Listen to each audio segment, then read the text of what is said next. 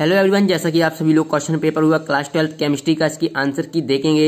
और जैसा कि हमने आपको इंपॉर्टेंट क्वेश्चन बताए तो क्वेश्चन बैंक से पूरा का ये पेपर बनाया का पूरा का पूरा पेपर हमने आपको क्वेश्चन बैंक के जो कि ऑब्जेक्टिव बताए थे, उन्हीं में से पूरा का पूरा आया तो चलिए देख लेते हैं। और क्वेश्चन जो बताए थे, वो भी आप देख सकते हैं, अधिकतर क्वेश्चन पूछे गए हैं। ठीक है, हिंदी के बहुत जल्द क्वेश्चन आपको इंपॉर्टेंट मिल जाएँगे। चलिए देख लेते हैं, जो कि पहला क्वेश्चन है, आपको सही विकल्प चुनकर लिखना है।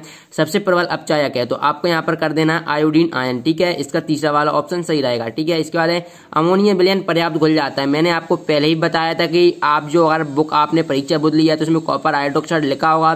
बट आपको क्या करना है? एजीआई सिल्वर आयोडाइड करना है। इसका करेक्ट आंसर रहेगा सिल्वर आयोडाइड नेक्स्ट है सल्फ्यूरिक अम्ल के औद्योगिक निर्माण में प्रयुक्त उत्प्रेरक है। तो ये क्या हो जाएगा?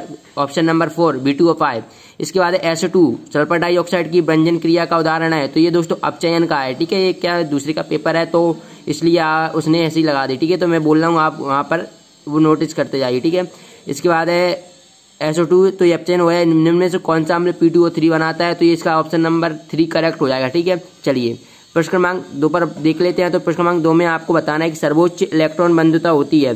तो ये क्लोरीन की होती है तो यहाँ पर आपको क्लोरीन कर देना। एक क्वेश्चन बैंक से ही पूरे का पूरा क्वेश्चन पेपर बना था, और ये हमने आपको इंपॉर्टेंट क्वेश्चन भी दिए थे, अगर ऑब्जेक्टिव भी दिए थे, और ये बेसिकली हमने आपको ये बताए थे। क्वेश्चन बैंक का सोल्यूशन पूरा का पूरा वहीं से बना है। हिंदी की भी आप वहाँ से कर सकते हैं, ठीक है? इसके बाद सामान्य ताप पर ब्रोमीन है तो सामान्य ताप पर ब्रोमीन एक द्रव है, ठीक है? क्लोरीन की खोज सीले ने की थी। ब्लीचिंग पाउडर को कहा जाता है। तो इसको ब्लीचिंग पाउडर को क्या? रंजक चूड़े कैल्शियम ऑक्सीक्लोराइड कहा जाता है। इसके बाद है, हाथी, दांत, तेल आदि के व्यंजन में किस गैस का उपयोग किया जाता है? तो आपको बताना है तो ये ओ थ्री यानी कि ओजोन गैस का उपयोग किया जाता है। नेक्स्ट इसके बाद जल का घनत्व, ताप पर अधिकतम होता है। तो ये कितने? फोर डिग्री सेंटीग्रेड ताप पर अधिकतम होता है। तो यहाँ पर आपको फोर डिग्री सेंटीग्रेड कर लेना चलिए, इसके बाद नेक्स्ट देख लेते हैं। दोस्तों तो यहाँ पर प्रश्न क्रमांक तीन में आपको सही जोड़ियाँ मिलाना है और उत्तर पत्रिका में लिखना है। प्रत्येक एक अंक के लिए है, जैसा कि ऑप्शन दिए हैं। पहले आपको जो अच्छी तरीके से आता है, पहले आप वो करिए। जैसे कि पहला, दूसरा देखते हैं, दुर्लभ मृदा तत्व। तो दुर्लभ मृदा तत्व क्या ए ब्लॉक के तत्व कहलाते हैं? फिर तीसरा देखते हैं, असमान व्यवहार फ्लोरीन का फ्लोरीन असमान व्यवहार प्रदर्शित करती है, ठीक है? और समूह सत्रह के तत्वों में। इसके बाद सभी रेडियो धर्मी तत्व तो ये एक्टिनाइट कहलाते हैं। अब हमारा बच्चा सिक्का धातु और क्या बच्चा है? और हमारा बचा मिश्र धातु। देखिए, सिक्का धातु, ये हो जाएगा आपको कॉपर सिल्वर व गोल्ड और जो मिश्र धातु है, ये लेंथेनाइड की जगह शायद कुछ मिसप्रिंट हो गया लेंथेनाइड या कॉपर हो सकता है कॉपर व आयरन ठीक है? तो आप देख लीजिए, इन दोनों के आप आंसर भी बता सकते हैं, क्योंकि सिक्का धातु मुझे कन्फर्म है कॉपर सिल्वर व गोल्ड होगा बट यहाँ पर ये मिसप्रिंट लग रहा है लेंथेनाइड ठीक है? तो आप लेंथेनाइड देख सकते लेंथेनाइड शायद फिर भी देख लीजिए मिसप्रिंट हो सकता है। ठीक है, इसके बाद चलिए हम यहाँ पर देख लेते हैं प्रश्न क्रमांक चार में किस प्रकार के संकुल आयु पीएसई नामकरण में एट शब्द लगाते हैं। देखिए, संकुल यौगिक में दो प्रकार के आयन बंद पाए जाते हैं।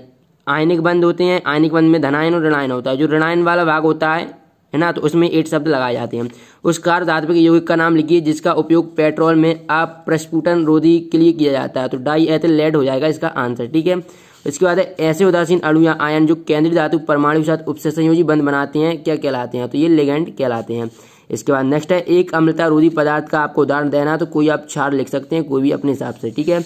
इसके बाद एक खाद्य परिरक्षक का नाम लिखिए तो खाद्य परिरक्षक का आप सोडियम बेंजोट लिख सकते हैं, और भी आप अपने हिसाब से लिख सकते हैं, बहुत सारे होते हैं जो आपको अच्छा लगे। क्वेश्चन देख लेते हैं जो आपको इंपॉर्टेंट क्वेश्चन बताए गए थे। आपको क्या मैंने संपर्क विधि बताई थी? बट उन्होंने क्या पूछा है? सल्फ्यूरिक अम्ल के निर्माण की संपर्क विधि को शीश कक्ष विधि से अधिक उपयुक्त क्यों मानी जाती है? सीधी सी बात है, सल्फ्यूरिक अम्ल में क्या हमें जो अम्ल प्राप्त होता है, वो प्योर, बिल्कुल प्योर होता है, जबकि शीश विधि में प्योर नहीं होता है। और इसमें हमें बिल्कुल सांद्र प्राप्त होता है अम्ल और इसमें तनु प्राप्त होता है। और और भी है कुछ, आप दो भी लिख दें या पर एक को लिख दीजिए, तीन, ठीक है? नाइट्रोजन के ऑक्साइड की संरचना लिखी है तो आप ये लिख सकते हैं। उत्कृष्ट गैसों का इलेक्ट्रॉनिक विन्यास से आपने इलेवंथ में भी पढ़ा होगा। पर ये तो मैंने आपको दिया था एच एफ़ द्रव है जबकि अन्य हाइड्रोजन हेलाइट समान ताप पर गैस है, ठीक है? और ये आपको एल, ये मैंने क्या अंतर एलोजन आपको बताया था तो उसमें ये संरचना है तो आपने वो वाली कर ली होंगी, मैंने क्वेश्चन दिया था बट ये मैंने एक्स्ट्रा में मतलब अलग से ही नहीं दिया था कि इसके लिए आप केंद्रित किया, लेकिन अंतर एलोजन दिया था, उसी का एक प्रकार है तो चलिए हम नेक्स्ट देख लेते हैं। यहाँ पर आप नेक्स्ट देख सकते हैं, जो कि मैंने दिया था लेंथेनाइट संक्शन क्या है? लेंथेनाइट संक्शन के प्रभाव को आपको लिखना है, संक्रमण तथा परिवर्ती संयोजकता प्रदर्शित करते हैं, ये भी मैंने आपको बताया था। चलिए इसके बाद नेक्स्ट देख लेते हैं। प्रथम संक्रमण श्रेणी में उपस्थित तत्वों के नाम व संकेत लिखना है, ठीक है? आप ये देख लीजिए, आप इनकी स्क्रीनशॉट ले लीजिए, ठीक है? ये इंपॉर्टेंट है आपके वार्षिक परीक्षा में भी। चूँकि यहाँ तो अभी आपको ओनली ऐसी परीक्षा चल रही हैं, जो कि आपकी आप ली है, ये आपको ये देख रहे हैं कि आपकी तैयारी कितनी है। ये ओनली पूरा का पूरा क्वेश्चन पेपर आप क्वेश्चन बैंक से बना है। हिंदी का क्वेश्चन पेपर भी आपको बहुत जल्द, जो कि इंपॉर्टेंट क्वेश्चन है, आपको बहुत जल्द मिल जाएगा। तो वीडियो को लाइक करने चैनल को सब्सक्राइब करना ना भूलें ऐसी वीडियो पाने के लिए, क्योंकि इस चैनल पर आपको सोल्यूशन सहित इंपॉर्टेंट क्वेश्चन प्रोवाइड कराए जाते हैं। तो आई होप कि आपकी वीडियो पसंद आएगी। वीडियो को लाइक करें चैनल को सब्सक्राइब करें, जल्दी से सो के करवाइए। और फिर कुछ अलग करते हैं आपके लिए। चलिए, मिलते हैं नेक्स्ट वीडियो में। धन्यवाद।